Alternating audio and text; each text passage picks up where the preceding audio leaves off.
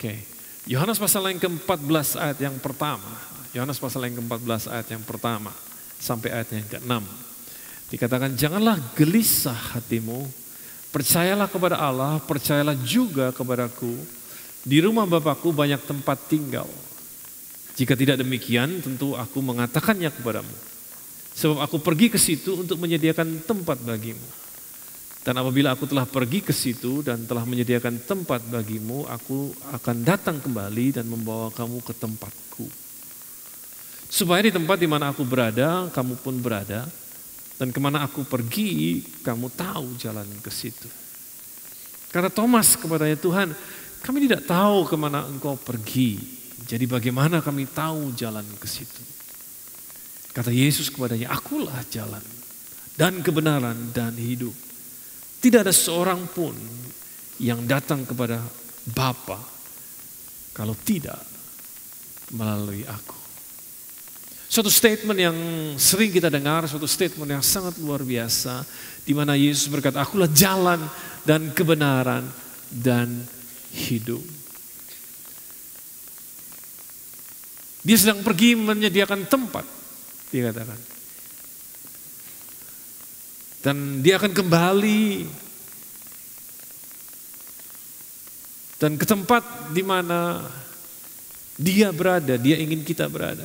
Dia ingin bawa kita ke sana. Thomas, salah satu murid Yesus bertanya, kami nggak tahu jalan ke situ, dia bilang. Kemudian Yesus merespon katanya, akulah jalan. Artinya kalau kamu kenal aku, akulah jalannya. Ia akan membawa kamu kepada Bapa di surga. Akulah jalannya. Jadi kekristenan kita sebetulnya dimulai pada saat kita mengenal Yesus sebagai jalan. Karena dialah jalan yang membawa kita kepada Bapa di surga. Dikatakan tidak ada seorang pun yang datang kepada Bapa kalau tidak melalui aku. Kekristenan kita dimulai pada saat kita mengenal dia sebagai jalan yang menghubungkan kita dengan Bapa di surga. Dalam kitab Roma pasal yang ke-10 ayat yang ke-9 dan 10 dikatakan sebab jika kamu mengaku dengan mulutmu bahwa Yesus adalah Tuhan dan percaya dalam hatimu bahwa Allah telah membangkitkan dia dari antara orang mati, maka kamu akan diselamatkan. Karena dengan hati orang percaya dan dibenarkan dan dengan mulut orang mengaku dan diselamatkan. Jadi kalau kita mengenal Yesus, dialah jalannya yang akan membawa kita kepada Bapa di surga. Kalau kita mengaku dengan mulut kita percaya dengan hati kita bahwa dialah jalan. Maka Alkitab berkata kita diselamatkan. Keselamatan tidak lagi menjadi sesuatu yang perlu kita ragukan bahwa kalau kita mati kita ke mana. Karena kita diselamatkan kehidupan kekal sudah menjadi bagian kita. Tapi masalahnya kita nggak langsung check out dari dunia ini pada saat kita menemukan jalan. Kita nggak langsung berhenti di situ. Dia katakan akulah jalan dan kebenaran dan hidup. Artinya kekristenan kita juga jangan berhenti sampai di mengenal dia sebagai jalan. Nah saya tahu dalam sekumpulan orang segini banyak pasti ada orang-orang yang masih belum yakin bahwa dialah jalan. Oh nggak jadi soal buat saya. Kalau saudara belum yakin selama saudara terus mencari, saudara akan menemukan jalan. Karena firman Tuhan berkata, carilah maka engkau akan mendapatkannya. Selama engkau mencari, engkau akan mendapatkannya. Tetapi saya yakin sebagian besar di antara saudara sudah yakin, sudah kepada Kristus, sudah yakin kepada Yesus bahwa dialah jalan yang membawa saudara kepada Bapa di surga. Saudara yakin betul dan saudara sudah mengambil keputusan untuk ikut Yesus. Tetapi jangan berhenti di sana. Jangan berhenti hanya sekedar mengenal Yesus sebagai jalan. kita juga harus mengenal Yesus sebagai kebenaran. Apa itu kebenaran? Dialah kebenaran. Tetapi dia juga berkata dalam Yohanes pasal yang ke-17 ayat ke-17 dalam doanya dikatakan kuduskanlah mereka dalam kebenaran firmanmu adalah kebenaran. Yesus adalah firman yang menjadi manusia. Bulan lalu kita sering setiap hari, setiap hari minggu kita nyanyikan lagu yang diciptakan oleh Sari dengan Simorangke dengan begitu baik. Diambil dari Yohanes pasal yang pertama ayat yang ke-16. Bahwa dialah firman yang menjadi manusia. Mengenal Yesus berarti saudara juga harus mengenal dia sebagai firman, sebagai kebenaran. Jadi pesan saya hari ini bahwa jangan hanya sekedar berhenti mengenal dia sebagai jalan, kita juga harus belajar mengenal dia sebagai kebenaran. Yohanes 8 ayat 31 32 katakan Katanya, kata Yesus kepada orang-orang Yahudi yang percaya kepadanya. Artinya gini, kalau saya boleh pakai istilah saya, kepada orang-orang Yahudi yang sudah menemukan dia sebagai jalan. Katanya, jikalau kamu tetap dalam firmanku, kamu benar-benar adalah muridku. Dan kamu akan mengetahui kebenaran dan kebenaran itu akan apa? Memerdekakan kamu. Jadi jangan berhenti sampai mengenal dia sebagai jalan. Kita juga harus mengenal dia dalam firmannya sebagai kebenaran. Karena kebenaran itu yang pada akhirnya akan memerdekakan kita, membebaskan kita dari segala belenggu dosa yang mungkin mengikat saudara, atau dari segala ketakutan atau kekhawatiran akan masa depan. Yesaya pasal yang ke-32 ayat yang ke-17 mengatakan demikian di mana ada kebenaran di situ akan tumbuh damai sejahtera. Dan akibat dari kebenaran adalah ketenangan dan ketentraman untuk selama-lamanya. Bukankah banyak orang cari ketenangan dan ketentraman? Bukankah banyak orang cari damai sejahtera? Oh, there you go. Kalau saudara tidak berhenti sampai di jalan saja dan saudara mulai belajar mengenal firman Tuhan, belajar mengenal kebenaran, maka akibat daripada kebenaran akan tumbuh damai sejahtera. Akibat daripada mengenal kebenaran adalah ketenangan dan ketentraman untuk selama-lamanya. Tapi sayang, sayang banyak orang yang berhenti sampai di jalan, mengenal Yesus sebagai jalan saja tapi kemudian malas atau tidak mau untuk terus mengenal firman, mengenal dia sebagai firman, sebagai kebenaran. Oh, saya tahu banyak banyak orang mungkin di sini nggak ada, tapi di sana sini banyak yang langsung mau mau melayani, yang senang melayani, yang senang repot, atau banyak di antara kita yang rajin datang ke gereja, apalagi setiap minggu mau datang ke gereja rajin senang untuk mengejar berkat karena kalau rasa nggak datang ke gereja rasanya nggak dapat berkat dan lain sebagainya. Tetapi kita nggak senang dengan firman Tuhan.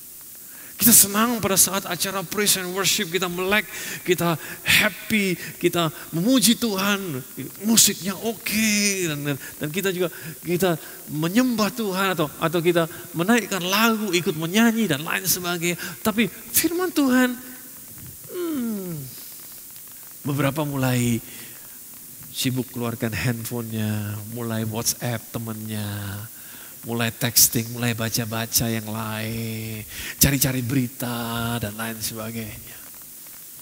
Di sini nggak ada, di sini nggak ada. Ya. Kita nggak engage sama firman Tuhan. Kita nggak cinta dia sebagai suatu kebenaran. Akibatnya kita lebih sering mendapatkan orang-orang seperti Marta di firman Tuhan pada saat Yesus datang ke rumahnya, dia sibuk kerja, dia sibuk pelayanan, dia sibuk kerjaan ini, kerjaan itu, kerjaan ini, kerjaan itu. Tapi kita tidak seperti Maria yang duduk di bawah kaki Yesus, mendengarkan instruksinya, mendengarkan petuahnya, mendengarkan apa yang ada dalam isi hatinya. Sedangkan Marta sibuk. Maria mendengarkan perintah, mendengarkan isi hati Tuhan. Penting untuk kita mengenal Yesus sebagai kebenaran. Dan tidak berhenti sampai mengenal dia sebagai firman. Di zaman sekarang ini kita masuk ke zaman digital. Dulu sebelum zaman digital orang datang ke gereja bawa Alkitab tebel. Kitab tebel. Ada yang bawa sekarang? Ada yang bawa? Saya tunjukkan kalau sudah bawa, tunjukkan, jangan cuma angkat tangan. Tunjukkan, saya mau bukti. Naikkan ke atas Alkitab saudara. Saya lihat satu di situ. Belakang saya lihat dua. Ada lagi? Gak banyak, tiga, empat, lima. Kalau saya boleh lihat gak lebih dari sepuluh. Wah. Sih udah sebagian besar kita udah gak bawa lagi. Tapi mungkin saudara sudah bisa argue sama saya. Tapi Pak, saya bawa kantong. Ada.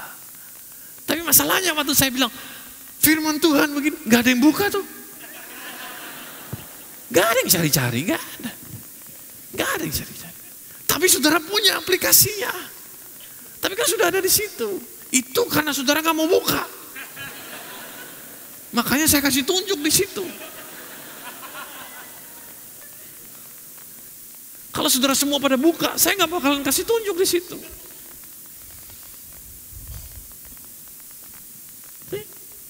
Kita sibuknya dapat, kita rajinnya dapat, kita gayanya dapat. Tapi kita tidak mengenal dia sebagai kebenaran. Justru kita dipermudah aksesnya. Bahkan mungkin saudara punya lebih dari satu aplikasi mengenai mengenai Bible. Ada yang punya Word, ada yang punya YouVersion, ada yang punya Alkitab dan lain sebagainya. Tapi saudara nggak pernah baca. Dulu, dulu kita pikir berat bawa-bawa. Oke sekarang kita nggak perlu berat karena toh kita bawa bawa ini kan ke mana kita pergi. Tetapi kita juga nggak baca.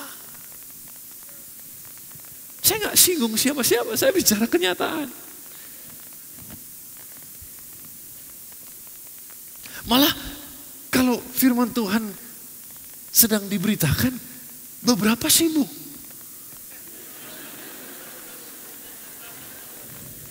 Entah sibuk selfie, entah sibuk mau ambil mau ambil gambar. Karena yang mereka pikirkan adalah, waduh aku harus segera upload ini. Supaya semua followerku tahu aku sedang ke gereja.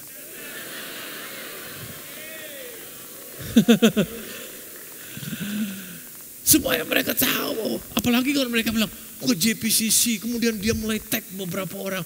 Gila lo ke JPCC sekarang. Wah, aduh kayaknya, kayaknya keren gitu kayaknya.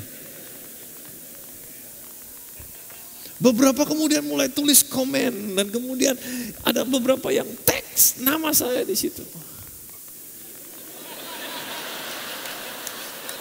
Tujuannya tentu supaya saya lihat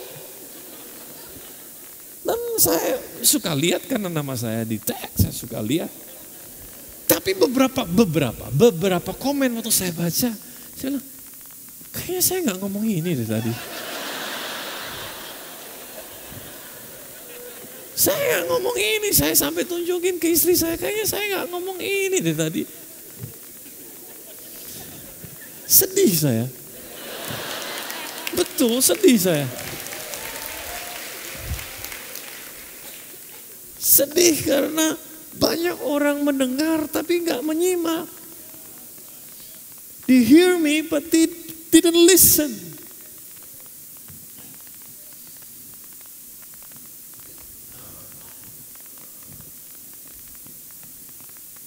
Itu sebabnya penting untuk kita mengenal firmannya. Jangan cuma dapat gayanya doang, dapat hype-nya doang.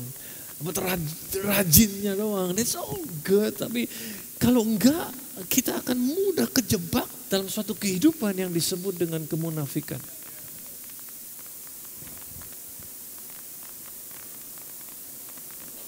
Makanya saya rindu kita step up the game. Saya rindu saudara jadi jemaat yang mengenal firman Tuhan. Bukan hanya sekedar menjadi pendengar firman.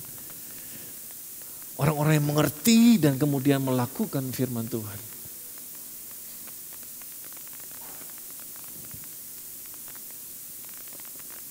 Karena sebetulnya kebenaranlah yang akan membawa kita kepada kehidupan yang sesungguhnya. Truth leads to life. Dalam Amsal pasal yang ke-11 ayat yang ke-19 dikatakan siapa berpegang pada kebenaran yang sejati menuju hidup. Tetapi siapa mengejar kejahatan menuju kematian. Dalam Amsal 12 ayat 28 dikatakan di jalan kebenaran terdapat hidup tapi jalan kemurtatan menuju maut. Jadi kalau saudara kenal dia sebagai jalan dan saudara kenal dia sebagai kebenaran, maka saudara akan dipimpin menuju pada hidup. Hidup yang dimaksud di sini bukan sekedar hidup, tapi hidup yang sesuai dengan apa yang Tuhan mau kualitas hidupmu ditentukan oleh seberapa kenal engkau akan kebenaran.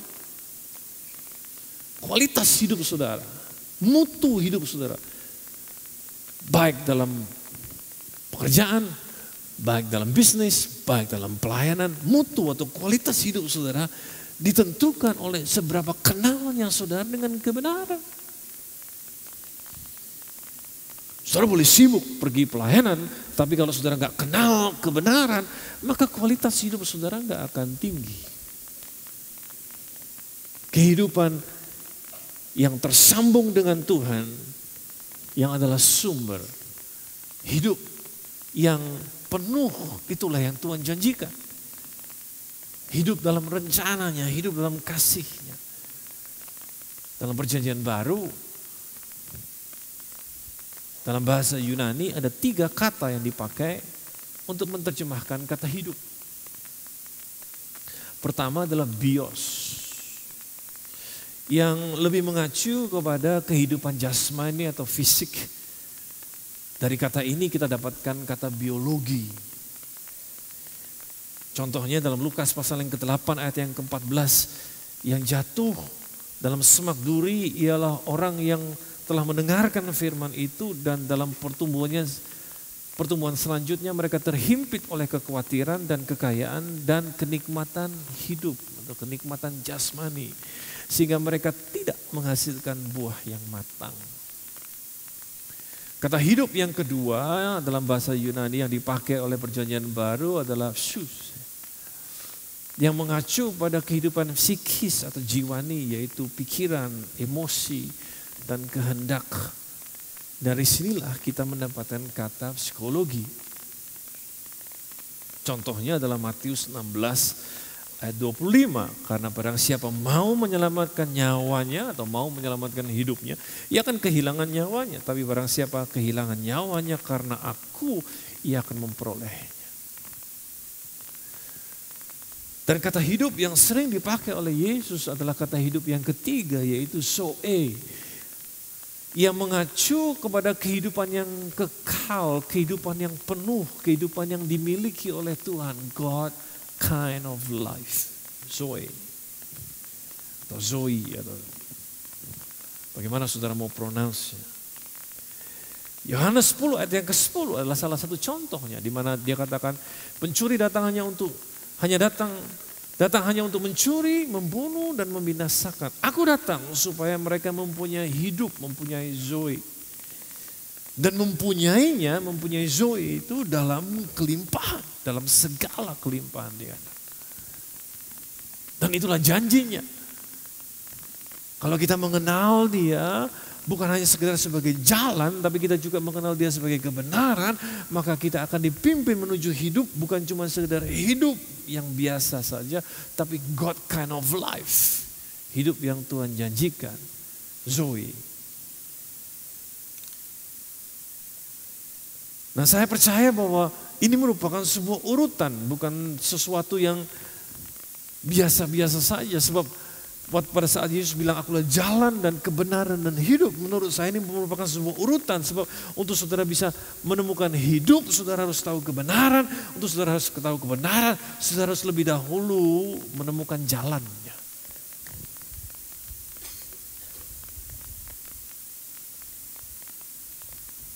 Itu sebabnya tema kita tahun ini adalah alive.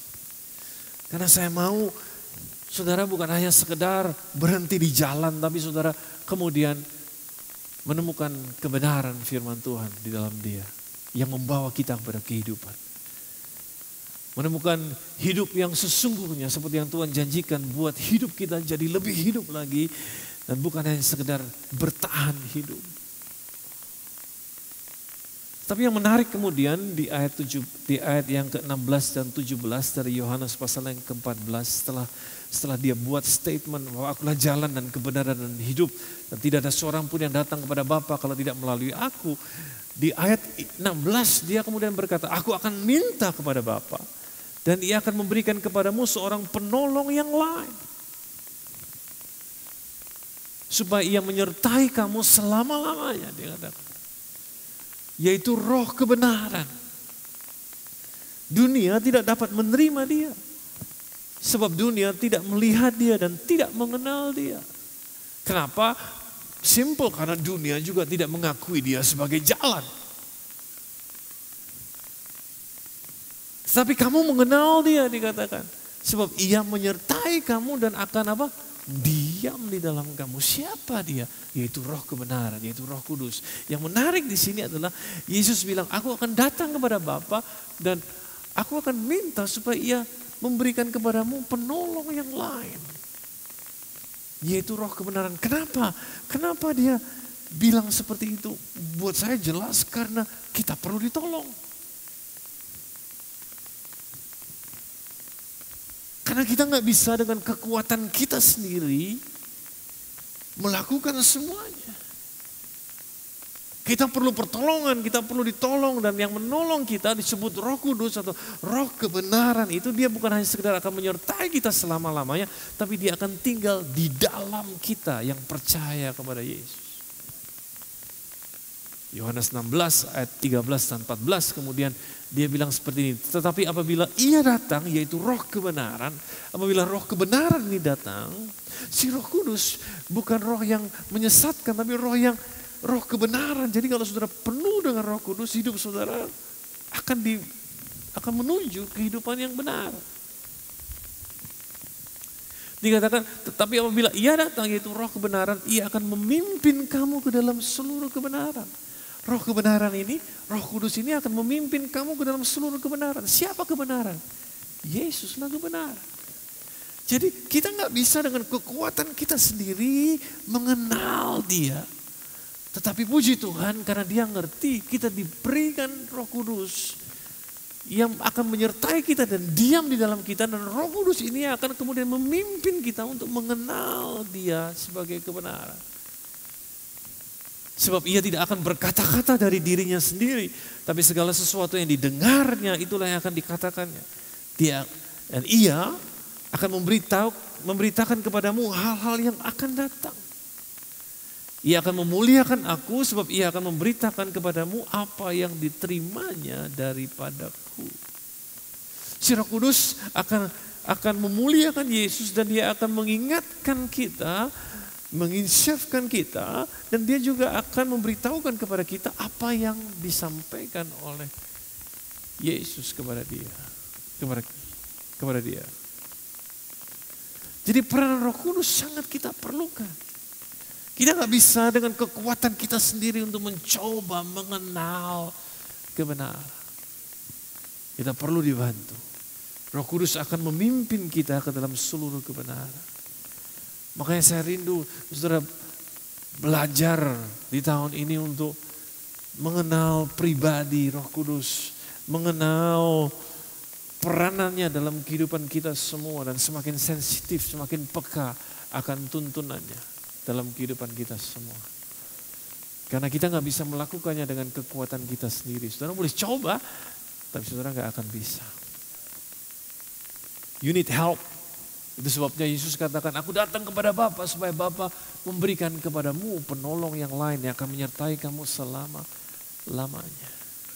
Saya teringat akan perkataan dalam Sakaria 4 ayat yang ke-6 dikatakan, inilah firman Tuhan kepada Zerubabel bunyinya, bukan dengan keperkasaan, bukan dengan kekuatan, melainkan dengan rohku, firman Tuhan semesta alam. It's not by might nor by power, but by my spirit. Banyak orang yang mencoba untuk melakukan pelayanan dengan kekuatan mereka sendiri, dengan kekayaan mereka sendiri. Tetapi mereka nggak bisa bertahan atau mereka nggak bisa hidup hanya sekedar bertahan karena tanpa kekuatan daripada Roh Kudus yang menyertai maka sulit untuk bisa melakukannya. Dan Yohanes pasal yang ke-6 ayat yang ke-63 katakan seperti ini. Rohlah yang memberi hidup. Daging sama sekali tidak berguna. Perkataan-perkataan yang kukatakan kepadamu adalah roh dan apa? Hidup. Jadi tanpa roh kudus yang menginspirasi kita, yang membantu kita, yang kemudian menolong kita, maka firman Tuhan yang kita baca hanyalah sekedar perkataan biasanya sekedar informasi. Makanya banyak orang yang tidak tahan membaca, kemudian ngantuk, kemudian nggak ngerti dan lain sebagainya. Tapi kalau roh kudus yang menolong, maka kata-kata ini bisa hidup dan karena hidup saudara dapat pewahyuan, saudara, oh you got it, saudara mengerti. Kemudian saudara mulai melakukannya dan kemudian saudara mulai merasakan kebenarannya. Dan itu kemudian menjadi bagian dalam hidup saudara. Saudara nggak perlu diingatkan lagi, saudara nggak perlu nggak perlu lagi di, disuruh-suruh untuk melakukan, tapi itu sudah menjadi bagian dalam kehidupan saudara karena saudara mengerti karena Roh Kudus yang menginspirasikannya dalam kehidupan saudara. Saya mengerti yang saya maksud? Tapi kalau enggak, ya itu jadi kata-kata saja. Bahkan ada berapa banyak di antara kita pakai firman Tuhan. Ayo ngaku. Untuk nembak ceweknya atau cowoknya. pakai firman Tuhan loh. supaya supaya kelihatan rohani. Tapi kalau ditolak, reaksinya tidak rohani sama sekali. Dan harusnya kalau berani nembak pakai firman Tuhan, kalau ditolak, ya tetap rohani kan gitu kan. Ada yang pakai pakai itu untuk dapatkan pekerjaan. Supaya supaya sama yang punya perusahaan dipikir, wah ini orang rohani sambil nulis aplikasi, nulis bikin kurikulum vitae bawahnya kasih firman Tuhan. Carilah dulu kerajaan Allah dan kebenarannya, maka semuanya akan ditambahkan kepada. Sehingga sehingga siapa saja yang kemudian lihat itu bagian HRD atau bos yang lihat, wah ini anak Tuhan nih. Pakai firman loh. It doesn't tell anything. Berapa banyak di antara kita yang pakai itu untuk keuntungan kita sendiri. Atau bahkan untuk nyerang orang, untuk menjatuhkan orang lain. Hmm.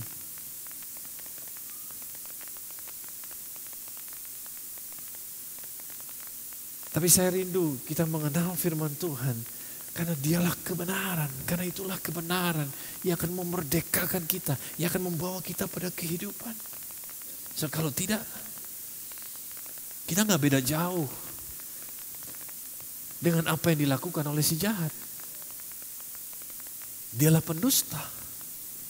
Saya sering kali katakan kepada saudara, pendusta kerjanya ngapain? Ya mendustai. Kalau saudara seorang pendusta, saudara menjadi seorang pendusta, saudara berkeinginan menjadi seorang pendusta yang sukses. Maka saudara harus punya goal, saudara harus punya target. Siapa target saudara? Target market saudara adalah orang-orang yang gampang didustai. Nah, betul kan? Siapa orang yang gampang didustai? Orang-orang yang tidak tahu kebenaran.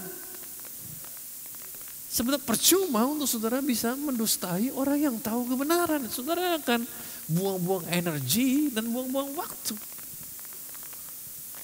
Tapi kalau saudara ingin menjadi seorang pendusta yang berhasil, saudara harus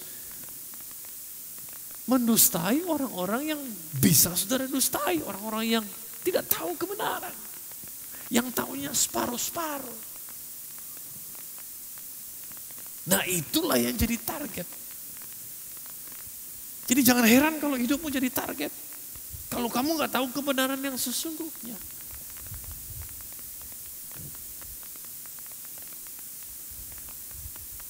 Karena iblis itu pandai memelesetkan firman Tuhan. Nah kalau saudara nggak tahu, saudara bisa kemakan. Belakangan ini saya sering terima di email saya, saya nggak tahu, saya lagi cari tahu kenapa email saya bisa terima email-email yang seperti ini. Tertulis bahwa kamu terpilih untuk mendapatkan hadiah dan hanya 10 orang yang terpilih. Tapi kamu harus segera merespons. Dan dari 10 orang yang terpilih ini, 9 sudah merespons, tinggal kamu. Bahkan dikasih tahu, yang ini udah merespons 45 detik yang lalu. Yang ini udah merespon 10 menit yang lalu, 5 menit yang lalu. Semua udah merespon, tinggal nama saya yang belum. Masalahnya saya nggak tertarik dan nggak bisa ditipu dengan yang gini-ginian. Saya langsung delete, saya langsung cari dulu, unscribe dulu. Udah di unscribe, datang lagi yang lain. Sama modelnya. Hadiahnya macam-macam, mulai dari iPhone 7, dari uh, mobil Tesla, dan lain sebagainya.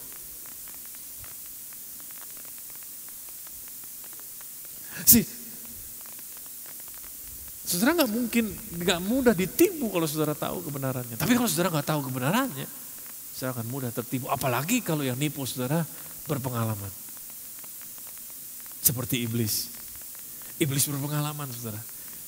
Karena dia dari dulu udah pakai firman Tuhan untuk menipu.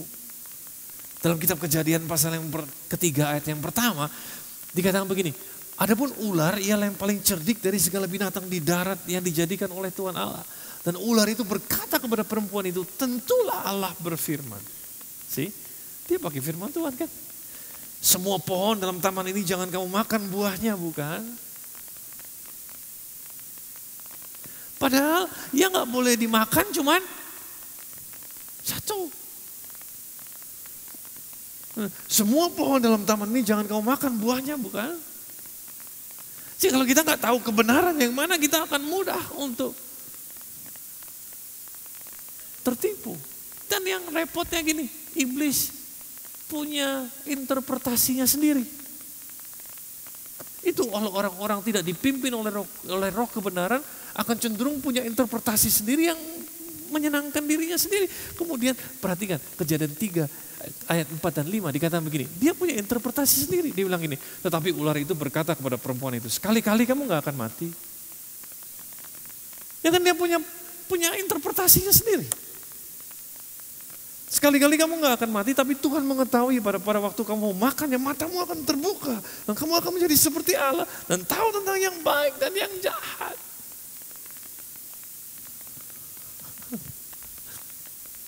Dia punya interpretasi sendiri. Makanya Yesus tahu bahwa kita butuh ditolong. Dia minta kepada Bapa supaya Bapa mengirim roh sang penolong. Di lain kesempatan dia, dia disebut penghibur. Dia itu roh kebenaran yang bukan hanya sekedar menyertai kita, tapi akan diam di dalam kita. Dan bersama roh itu di dalam kita, maka kita akan dipimpin ke dalam seluruh kebenaran. Dan kebenaran akan kemudian memimpin kita pada hidup Zoe, hidup seperti yang Tuhan mau. Saya berharap saudara bisa menerima firman Tuhan ini. Saya berharap saudara mengerti apa yang saya coba sampaikan kepada saudara.